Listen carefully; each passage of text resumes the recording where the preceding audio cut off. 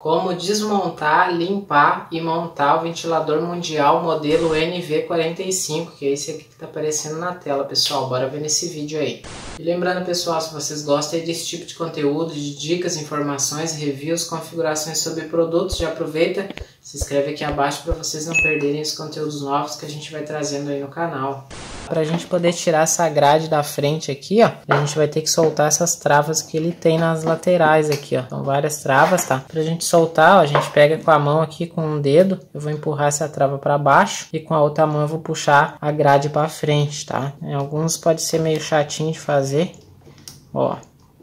Beleza? Ele vai soltar. Você vai fazendo isso em todas as travas aí. Consegui soltar aqui a frontal, né? Bom, próximo passo agora, pessoal, é soltar essa porca de plástico aqui que prende a hélice, tá? O sentido de soltar e o sentido de apertar. Então aqui eu tenho o sentido de soltar é o sentido horário. O mesmo sentido aí que o relógio gira. Você vai segurar com uma mão a hélice, com a outra você vai girar, ó.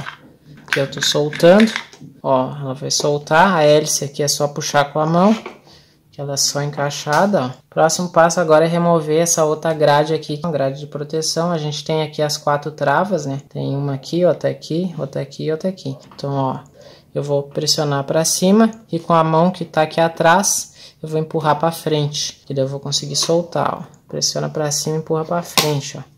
Mesma coisa em todas as outras, ó. Pressiono para cima e empurro aqui. E aqui também, ó. Pressiono aqui para baixo e empurro, pessoal. E ela vai soltar as travas aí, ó. Ó, acabou de soltar, certo? Bom, pessoal, como que vai funcionar agora? Repare que a gente tem quatro parafusos aqui com a cabeça Phillips, certo? Então a gente vai precisar de uma chave Phillips aí para soltar os quatro parafusos, tá? Então eu vou soltar aqui os quatro parafusos e já volto com o vídeo aí. So Beleza, pessoal, soltei aqui os quatro. Vou pegar esse aqui que tá se bobeando pra sair.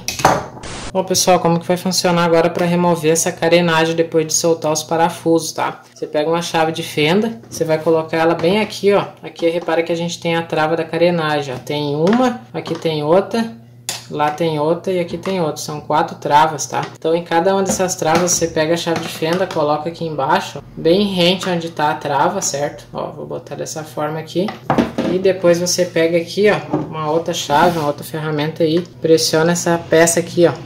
E ao mesmo tempo que você bota a chave aqui, você faz esse movimento de alavanca, ó, certo? Para poder aliviar aqui a trava e com essa outra chave eu vou empurrar para dentro essa chapinha branca aqui, ó. Então eu empurro e com a outra aqui eu faço esse movimento. Mas com cuidado para não quebrar nada, tá, pessoal? Dessa forma, ó, ele vai acabar soltando aí, tá? Aqui já soltou. Eu faço a mesma coisa em todos os outros aí, ó. Bota a chave, certo? E pressiono a chapa aqui, ó. Pressiono e movimento a alavanca, ó. Bom, feito isso, removido ali as travas, pessoal, vai sair a capinha, que ficou o parafuso preso aqui, eu vou ter que tirar ele. Bom, repara aí, pessoal, ó, tá bem sujo. E aqui para tirar essa capa, ó, tem o furo aqui, ó, você vai desencaixar. E ó, também tá bem sujo, ó. Motor tá mais sujo ainda, tá imundo. Então a gente vai fazer uma bela limpeza no motor, certo? Então agora é o processo de limpeza. Vamos limpar tudo aí, motor, as carenagens, fazer essa limpeza aí bem bacana e depois a gente vem montando. Bom pessoal, mais um detalhe aí se você tem curiosidade de saber como é que desmonta essa parte de baixo aqui, ó, essa carenagem aqui, tá? Você vai pegar aqui, ó, ela tem quatro travas também, ó. Você vai ter que pressionar para dentro a trava e puxar essa carenagem para cima, tá? Então, eu pressiono para dentro e vou puxando para cima. Então, eu puxo um pouquinho um lado, depois eu pressiono o outro lado, puxo um pouquinho, depois eu faço aqui do outro lado a mesma coisa, ó, até eu conseguir tirar ele, tá? Ó, ó repara que as travas já estão para dentro ali, ó, que ela vai soltar.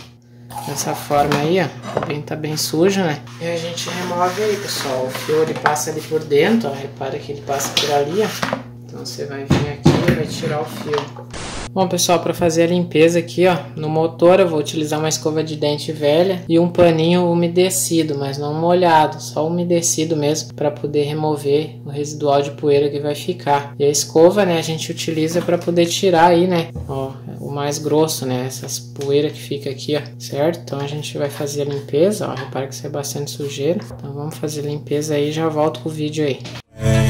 So you can go kick rocks, I'ma stack bricks up Build what I want to make Cause I don't give a fuck what you say Yeah, I'm a Ó, pessoal, tirei um pouco do excesso aqui daquela sujeira, né, daquela poeira. E eu venho com pano úmido aí, ó, passando na peça agora para remover aí esse excesso que fica de poeira. So you can go kick rocks, I'ma stack bricks up, build what I want to make. Cause I don't give a fuck what you say. Yeah, Bom pessoal, tá aí então, passei a escova, passei pano, certo? Para tirar a poeira. E essa peça aqui eu soltei ela também para dar uma limpada aqui na volta. Então para botar ela de volta, que é bem simples, ó. Fazer isso aqui, ó. Ela vai ficar com os nomes aqui para cima. E aqui tem um furinho aqui, ó. Bem aqui, ó, onde tá meu dedo. E ali vai o parafuso que prende a peça de volta. Então vou botar aqui o parafusinho, ó. Aperto de volta no lugar, pessoal. Olha, a peça tá presa aí. Bom, pessoal, e agora eu tô aí com todas as peças para lavar. Então, não tem mistério, né? Água e sabão. Vou lavar tudo isso aqui e já volto com o vídeo aí, pessoal. You can go kick rocks, I'ma stack bricks up, build what I want to make. Cause I don't give a fuck what you say. Yeah, I'ma do shit my way. So you can go kick rocks, I'ma stack bricks up, build what I want to make. Yeah, I'ma do it my way.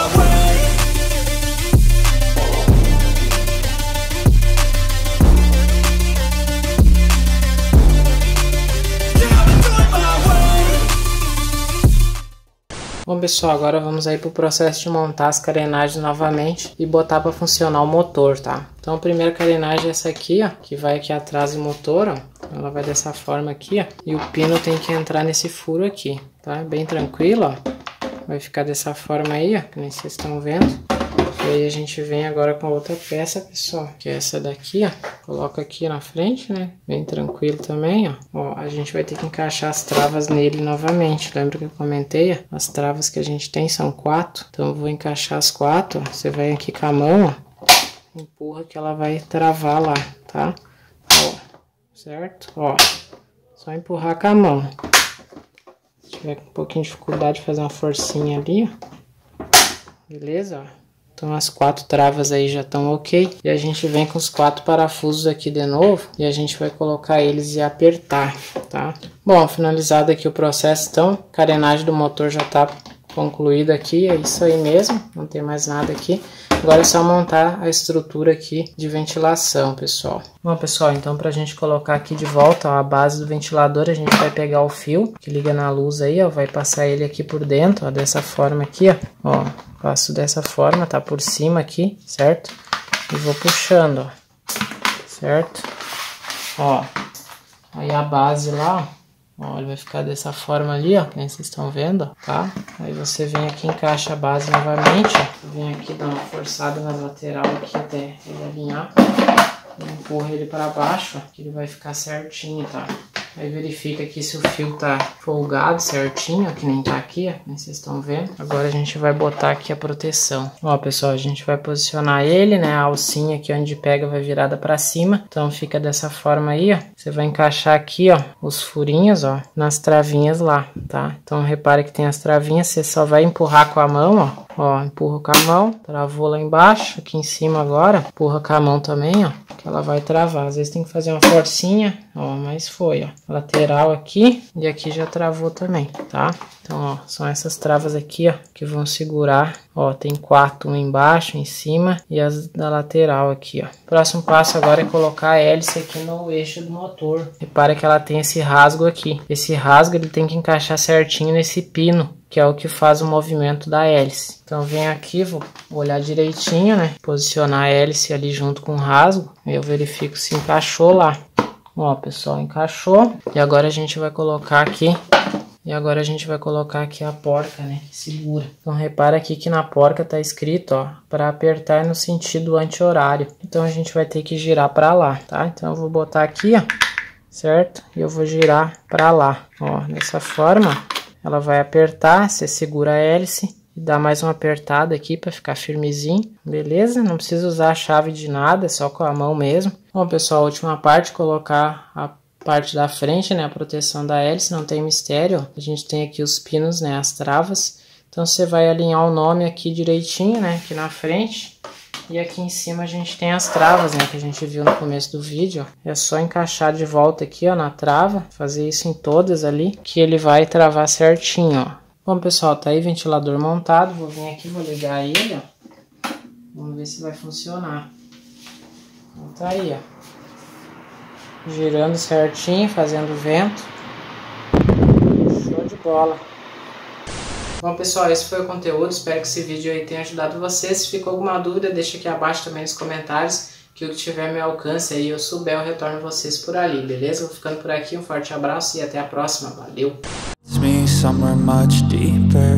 I got nightmares in my head, I fear That the thoughts build up until I can't hear That my mind